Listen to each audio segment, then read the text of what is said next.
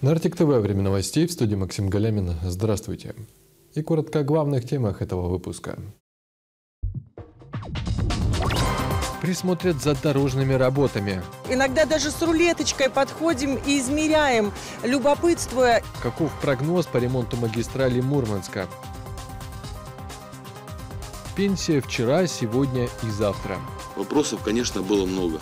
Региональные уполномоченные по правам человека о своей работе. Праздничная терапия. Добровольцы подарили пациентам детской больницы лучшее лекарство – радость.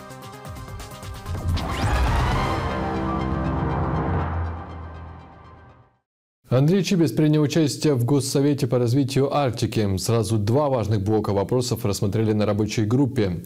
Предложено ввести понятие «опорные арктические города». В него войдут экономические центры, которые сейчас и в будущем будут опорой развития арктической зоны. Для этого требуется повышение объема инвестиций из федерального бюджета на создание достойной социальной инфраструктуры. Одним из таких инструментов может стать увеличение президентской единой субсидии для Арктики. Второе предложение озвучил министр науки и высшего образования России Валерий Фальков. Решено скорректировать программу «Приоритет-2030», чтобы университеты арктической зоны могли участвовать в проекте. Это значит, что регион может получить дополнительные средства на ремонт зданий университетов и студенческих городков, закупку нового оборудования и финансирование современных программ.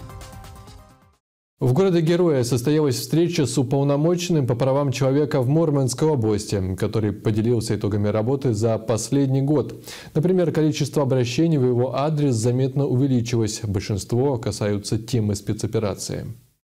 По словам регионального уполномоченного по правам человека, последние три года похожи на некую турбулентность. Это время пандемии, а также начавшейся специальной военной операции. Вся система правозащиты была пересмотрена и претерпела определенные изменения. Например, в связи с СВО возросло и число профильных обращений, связанных с мобилизацией, повестками, социальной защитой и поддержкой участников боевых действий. Вопросов, конечно, было много.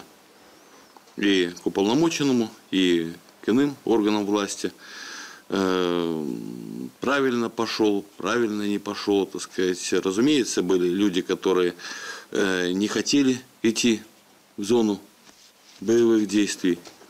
Э, кого-то убеждали, с кем-то разговаривали. Разумеется, это слезы, это практически работа 24 на 7, то есть общение с семьями военнослужащих – более того, уполномоченный планирует тесно сотрудничать с Фондом поддержки участников СВО, который был создан по распоряжению президента Российской Федерации. Мы с ним э, в дальнейшем будем активно взаимодействовать и думаю, что этих вопросов будет от мобилизованных и от тех людей, которые участвуют в СВО, в специальной военной операции, будет все меньше и меньше.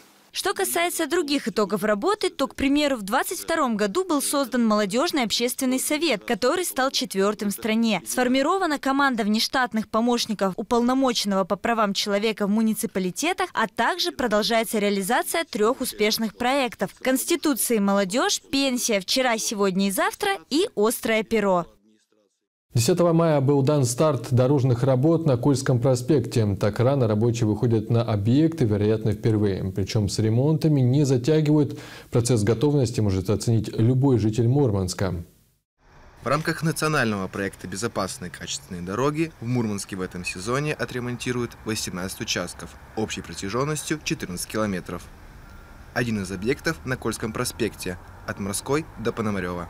На 13 мы уже работаем один из основных участков, одна из ключевых артерий города, Кольский проспект, около 900 метров протяженность участка. Сейчас уже большая часть работ проделана, нижние слои асфальта, асфальт-бетонного основания уже выстилается, работа почти закончена. Большое количество бортового камня нового поставлено. Ежедневно больше трети жителей Мурманска проезжают по Кольскому проспекту. Поэтому данный участок находится на особом контроле. Иногда даже с рулеточкой подходим и измеряем, любопытствуя и потом задавая вопросы специалистам, все ли верно делается. Вот это делают депутаты. Дорога эта ремонтируется у нас практически регулярно. Мы постоянно здесь видим колейность, постоянно об этом сигнализируем в администрацию города. Но вот то, что я сейчас и сказала, э, своевременно, без гонки, без спешки, э, в нормальных погодных условиях выполняемые работы дают надежду на то, что теперь они будут выполнены на более высоком уровне и более качественно. На улице Планерной и Карла Маркса, еще одном участке, работы выполнены на 70%. Помимо основных для ремонта объектов, есть и дополнительные. У нас есть дополнительные объемы, которые мы хотим сделать в этом году. Это и Нижнеростинское шоссе, и э, участок э, Подгорной улицы, в который нам необходимо зайти с капитальным ремонтом. Обычно пик дорожных работ приходится на июль и август, но в этом году они стартовали в мае. Поэтому успеть все рабочие обещают к осени, чтобы мурманчане вернулись с отпусков в комфортные городские условия. В Оленегорске глава города Иван Лебедев провел ставший уже традиционным обход по улицам муниципалитета. На повестке дня проверка капитального ремонта Дома физкультуры и обновление дворовых территорий. В обходе принимала участие и наша коллега Анна Шинкаренко. В этом году погода позволяет начать ремонт дорог и дворовых территорий гораздо раньше. Сейчас в Оленегорске идут работы по нескольким адресам. Один из них – Парковая, 25. Жители давно ждали обновления этой территории. Первым делом заявили дворовую территорию, потому что она уже пришла в очень негодное состояние. Колодцы уже э, находились э, в аварийном состоянии. Проезд и зимой, и летом был очень затруднен. Этот микрорайон города считается густонаселенным, поэтому задача не только положить новый асфальт, но и рационально разделить эту площадь на пешеходную зону и парковочные места. Как отмечает глава города, в этом вопросе важен комплексный подход. Следующий немаловажный социально значимый участок дороги – проезд от улицы Строительной с выездом на космонавтов. Здесь частые пешеходы – дети, ведь с одной стороны детский сад, а с другой – школа. Тротуара здесь не было, поэтому э, проект был сложный. Э, нужно было не только восстановить дорожное полотно, но и сразу же организовать тротуар для того, чтобы родителям было удобно, особенно э, подход к детскому саду с колясками, когда у нас идут, забирают родители, чтобы был тротуар, чтобы это было безопасно и также доступ к школе был. Помимо этого, рядом находится общество инвалидов, для которых также создают комфортную среду. К концу августа здесь появятся тротуар и дорога со всеми необходимыми дорожными знаками. Также обновления ждут улицы Строительная, Мира, Бардина и дворовая территория на Южной. В случае разгружения, то есть все сопровождения, все части армировки, все они приходят в исходное положение, как изначально в 1968 году было запланировано. Ну, то есть все лишнее, что было сделано, мы убираем. Да. А это уже обсуждение плана строительства чаши плавательного бассейна в Доме физкультуры и спорта. Здание было построено в 1968 году. И с тех пор это его первое капитальное обновление. Иван Лебедев провел нам небольшую экскурсию. Сейчас рабочий убирает старую плитку. Капитальный ремонт спортивного комплекса выполняет подрядная организация из Санкт-Петербурга. Для них такие работы не в новинку. Начались они в сентябре 2022 года. То есть были в начале первичные работы, это по благоустройству, то есть ограждению, потом демонтаж у нас ось 1.8, это, как вы могли увидеть, это спортивный зал. Э, последующими работами, перетекающие в ремонт, капитальный ремонт бассейна, чаши бассейна, то есть это с демонтажом плитки, Специалистам предстоит заменить все инженерные сети. А пока эти работы не начались, мы заглянули в самое сердце плавательного бассейна. Это химводоподготовка. Установка, которая делает воду голубой и чистой. Три насоса у нас стоят, э, три, четыре фильтра больших стоят. Если брать по технологическому процессу, насосы закачивают воду, они попадают в фильтра. Тут э, разный песок специализированный. Он очищает полностью воду, он уходит на лампу ультрафиолета. С ультрафиолета он уходит на теплообменник. Они сейчас просто все а, закутаны, чтобы во время ремонта ни в коем случае не повредить ничего. А, водичка нагревается у нас из теплообменника, она уходит уже в саму чашу бассейна. А раньше на этом месте был большой чан, где сотрудники бассейна размешивали реагенты и постоянно брали пробы. Сейчас ручной труд заменила станция дозации, которая четко определяет, сколько должно содержаться хлора в воде. Кроме бассейна также ведутся работы и в основной части спортивного комплекса. Полностью ремонтируют фойе, раздевалки, душевые и тренажерный зал. Будет обновлена система входа с помощью ручных браслетов. Полная перезагрузка позволит комфортно заниматься спортом всем жителям города и его гостям. По плану завершить ремонтные работы Дома физкультуры уже в сентябре этого года. Анна Шинкаренко, Максим Петровичев, Арктик ТВ. С 1 июня туристам, приехавшим, чтобы посмотреть особо охраняемые природные территории нашего региона, придется за это заплатить. Правительство Мурманской области приняло постановление, устанавливающее плату за посещение таких мест. Для жителей региона и ряда льготных категорий природные парки и заказники по-прежнему будут доступны бесплатно, но при наличии разрешения на посещение. Оформить документ можно на сайте Министерства природных ресурсов, экологии и рыбного хозяйства Мурманской области во вкладке «Посещение особо охраняемых природных территорий регионального значения». Там же размещена информация о плате для граждан, не проживающих в Заполярье. Впоследствии эта услуга будет доступна на региональном туристическом портале. Вырученные средства пойдут на развитие инфраструктуры природных территорий для обеспечения комфортного безопасного посещения. А нарушителям правил грозит штраф в размере от 3 до 4 тысяч рублей. А теперь про нарушение посерьезнее. Полярным районным судом вынесен приговор местным организаторам запрещенной в России экстремистской организации свидетелей Иеговы. Их наказали штрафом за деятельность, которую они подпольно осуществляли более четырех лет. В апреле 2017 года решением Верховного суда религиозная организация свидетелей Иеговы в России и входящие в ее структуру местные религиозные организации были признаны экстремистскими и ликвидированы. Однако двое жителей Зато Александровск вплоть до июля 2021 года продолжали незаконную деятельность. Причем действовали они методами современными, проводя богослужения и выступления посредством конференц-связи. Для проведения трансляций и собраний использовали живые помещения в городах Снежногорск, Полярный, Гаджиево, Киева и Оленегорск-8. Организаторы объединения также привлекали единомышленников к денежным взносам под видом добровольных пожертвований. Суд признал двух подсудимых виновными в совершении инкриминируемого преступления и назначил им наказание в виде штрафов общей суммой 850 тысяч рублей.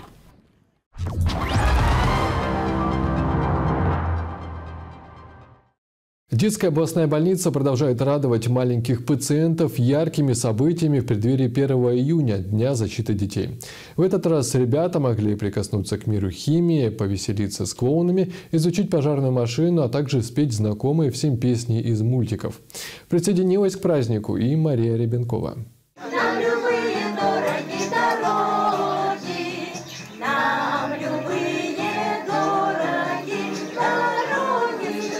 Детской областной больнице полным ходом идет предпраздничная неделя.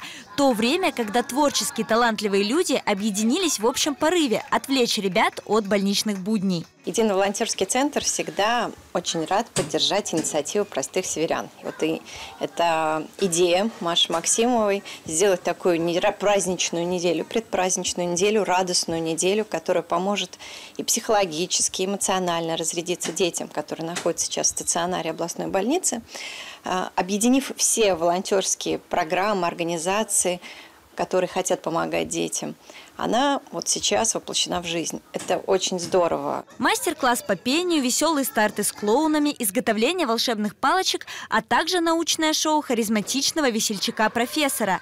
Детей ждала активная программа. Произошло? Нет. Ничего не произошло. Берем вторую бутылочку. Здесь жидкость какого цвета? Белая. Белая, но мутная. А еще у маленьких пациентов была возможность почувствовать себя настоящим пожарным, примерить форму, подержать пожарный рукав и посидеть в машине спасателей.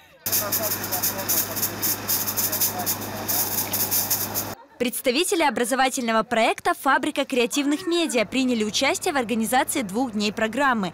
К ним присоединились участники проекта «Творческая весна», активисты Единого волонтерского центра, сотрудники МЧС, представители Центра добровольческих инициатив «Наше дело», служба сопровождения замещающих семей Кольского района, Центр социальной помощи и другие неравнодушные северяне. Нужно радовать детей. И... Особенно в таком непростом месте где им не хватает домашних стен, им не хватает домашнего тепла. Уюта. Да, почему бы не порадовать ребят?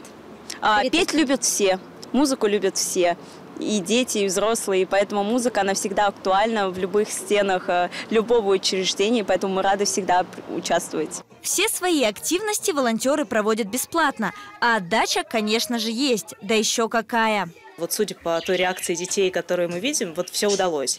Потому что мы понимаем, что вот Сейчас ребята видят лето только из окна больницы. И нам очень важно вот создать для этих ребят праздник, потому что от э, настроения зависит то, как быстро они будут выздоравливать. А это сейчас самое главное. По словам главного врача больницы, хорошее настроение всегда заряжает новыми силами и надеждой на лучшее. Как следствие, радостные дети быстрее идут на поправку. Поэтому двери медицинского учреждения всегда открыты для новых идей, проектов, волонтеров – и не только по праздникам. Мы с большим удовольствием э, готовы э, предоставить э, нашу площадку для проведения всевозможных таких подобных мастер-классов и в дальнейшем. Не обязательно это должно быть какому-то большому празднику, потому что дети находятся у нас круглогодично, без выходных. И поэтому, конечно, в празднике особенно хочется, но и в будни, я думаю, что нужно помнить о том, что всегда есть те дети, которые очень ждут положительных эмоций. Впереди ребят ждут не менее насыщенные дни. Игровые программы, арт-квест, разнообразные вкусности и много поздравлений. А как иначе? Мария Ребенкова, Данила Клепиков, Артик ТВ. Традиционный инженерно-технический конкурс состоялся в Доме творчества Снежногорска. Робот-турнир имени Павла Стеблина, одного из руководителей судоремонтного завода «Нерпа», объединил более 30 юных конструкторов и программистов. Одно нажатие кнопки на компьютере и запускается зрелищный процесс состязания двух роботов. Программа технического устройства прописана так, что оно перетянуло противника на свою сторону при помощи каната, которым служит специальный провод, закрепленный на корпусе каждого из роботов. Раз за разом победу одерживает конструкция Тани Смельцовой. Он очень сильный, но очень медленный. Он побеждает самых быстрых роботов без червячной передачи. Юный инженер Татьяна уверяет, что именно червячная передача позволяет ее роботу быть таким тяговитым. Эта деталь конструктора снижает скорость вращения, при этом достигается значительное увеличение крутящего момента. Такой механизм весьма неплох при перетягивании каната, что и позволило юной участнице стать лидером в номинации. Что касается, например, дисциплины сумо, где задача робота вытолкнуть соперника за пределы круга, то ставку участники делают не только на технические фишки, но и на форму конструкции. Чтобы скорость была большая, э, чтобы не, не могли подпереть тебя там снизу, и чтобы ты перевернулся. Э, еще чтобы была хорошая защита. Увы, машина Максима оказывается слишком легкой для этого соперника-тяжеловеса. Есть над чем потрудиться к следующему турниру. А пока свои фантазийные проекты в техническом соревновании имени Павла Стеблина защищают малыши перед серьезным жюри. Инженерами с многолетним стажем работы в области судостроения и судоремонта. Подготовка к турниру была сложнейшей, пришлось продумывать мельчайшие детали. Например, дошкольники из 8-го детского сада Снежногорска уверены, что доставлять материалы из цеха в цех в будущем будут при помощи дронов. А транспортировкой крупногабаритных частей судов и персонала займется машина на робовеслах. На самом деле дети, дети дают большой толчок, и на самом деле от них многое, что берем мы. То есть вот на какие-то их малейшие фантазии мы э, начинаем развивать, э, воплощать. То есть наша задача, в общем, помочь даже воплотить, не столько даже придумать, сколько воплотить. И это первое место в номинации «Лего-проект».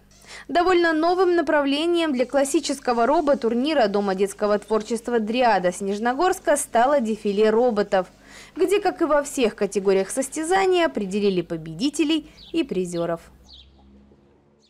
В Мурманском государственном техническом университете состоялась торжественная церемония награждения призеров многопрофильной инженерной олимпиады «Звезда». Об успехах школьников региона расскажем далее.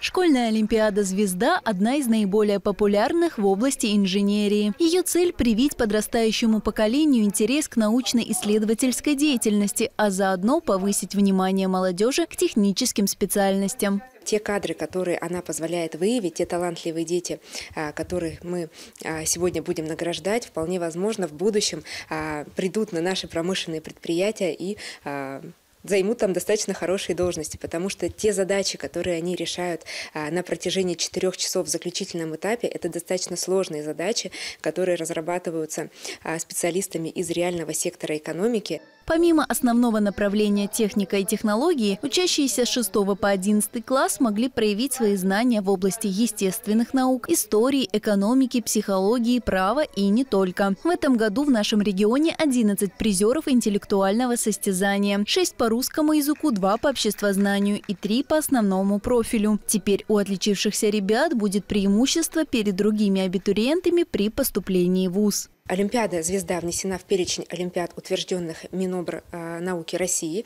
И это говорит о том, что э, если ребенок, э, сдавая ЕГЭ по профильным предметам физика либо математика, набирает 75 баллов и выше, они автоматически округляются до 100 баллов. Плюс есть вузы-партнеры данной Олимпиады, они есть по всей стране, которые предлагают свои условия для поступления. Кто-то льготные условия поступления, а кто-то принимает и без вступительных экзаменов. И также есть, конечно же, предприятия, которые тоже поддерживают именно призеров и выпускников э, данной Олимпиады. А вот Иванову Максиму еще не скоро сдавать ЕГЭ. В свои 12 лет он мало задумывается о будущей профессии, но уже сейчас к учебе относится серьезно. Когда учительница по русскому языку предложила ему поучаствовать в Олимпиаде, он недолго раздумывал, а по итогу стал бронзовым призером на всероссийском этапе. Решать было, конечно, очень сложно. Были задания многие, которые мы проходили и в шестом классе, и в пятом классе, и даже в начальной школе. А некоторые задания были даже связаны там с историей. Надо было какое-то слово заменить на, на новое слово. Там было старославянское, и надо было его на русское, которое сейчас заменить. И надо было только догадываться. Ну а так, в принципе, задания были решаемые. Но как-то так получилось все стенах МГТУ в торжественной атмосфере ребятам вручили дипломы от Министерства науки и высшего образования Российской Федерации и подарки. Чтобы лето принесло лишь радость, Александровские специалисты напоминают о необходимости соблюдения простых, но важных правил противопожарной безопасности. План по предотвращению несчастных случаев в летний сезон не только разработан, но и уже реализуется специалистами Госпожнадзора. Золотое правило о том, что беду легче предотвратить, доказано позитивной статистикой. Год от года пожаров, ставших следствием детских игр или происшествий, при которых травмируются малыши и подростки, в зато Александровск не становится больше обучению их необходимым навыкам не только в области пожарной безопасности, а также при чрезвычайных ситуациях различного характера. И вместе с тем формированию культуры безопасного поведения. Напомнить о несложных правилах можно и нужно взрослым. В период летних каникул зачастую дети остаются без контроля и присмотра. Важно раз за разом проявлять бдительность, не забывая о разговорах с ребенком. Пусть даже это кажется ему лишним, ведь информация повторяется. Но в ответственный момент Заученные слова непременно вызовут верный порядок действий. Кроме того, за поступки несовершеннолетнего отвечать придется родителям. Причиной возгорания зачастую оказывается сжигание мусора и жалость детей с огнем. А, хотелось бы напомнить, что лица, виновные в нарушении правил пожарной безопасности, в зависимости от характера нарушений и их последствий, несут дисциплинарную, административную или уголовную ответственность. В ближайшее время запланировано проведение профилактических визитов на объекты, где будут организованы детские лагеря, в ходе которых наши сотрудники уделят большое внимание работоспособности систем пожарной автоматики, состоянию путей эвакуации, наличию и исправности первичных средств пожаротушения. В это же время с ребятами проведут совместные акции и организуют беседы, чтобы лето стало по-настоящему безопасным. На этой неделе с 31 мая по 4 июня Ковдор посетит спецпроект для Крайнего Севера «Нордическая выставка» от компании «Союз импортеров». Дизайнерские коллекции высокотехнологичной зимней, демисезонной летней одежды и обуви от ведущих производителей Европы и Северной Америки уже примерили многие жители. Очень многие магазины, например, европейской одежды, закрылись. Покупатели лишились возможности приобретать брендированные вещи. Но благодаря принятому закону о параллельном импорте нордическая выставка имеет возможность не только возить одежду международных брендов, но и продавать ее по более низкой цене. Акцент делаем именно на коллекцию весна-лето. То есть это представлены облегченные ветровки немецкого и чешского качества, как укороченные, так и удлиненные, и демисезонные пальто и куртки. А также про зиму мы не забываем, у нас на зиму максимальная скидка это 70%. Также при покупке зимней куртки, пуховика или дубленки идет дополнительная акция «Обувь в подарок». Мужские куртки и дубленки европейских и североамериканских брендов – отличный выбор для нашей погоды. А модных женщин представленные модели не только согреют, но и подчеркнут их красоту. Основной акцент сделан на весенне-осеннюю коллекцию кожаных курток из кожи буйвола, оленя и лося, немецкие чешские ветровки и итальянские пальто, а также демисезонную и зимнюю обувь со скидкой до 70%. Увидела рекламу, пришла, вот подобрала себе пальто с соболем. Такое очень легкое, на пуху, мне очень нравится. Цена адекватная. Вот. Очень люблю, в принципе, европейскую моду. И сейчас, наверное, с этим будут трудности, поэтому была рада, что приехала выставка. Спецпроект «Нордическая выставка» ждет всех жителей Ковдора с 31 мая по 4 июня включительно с 10.00 до 20.00 по адресу улицы Победы 8, бывший магазин «Бонус». И на этом у нас все. Больше новостей смотрите на нашем сайте articdefistv.rf и в официальной группе телеканала в социальной сети ВКонтакте. Далее вас ждет прогноз погоды. Я же с вами прощаюсь. Всего доброго и до встречи.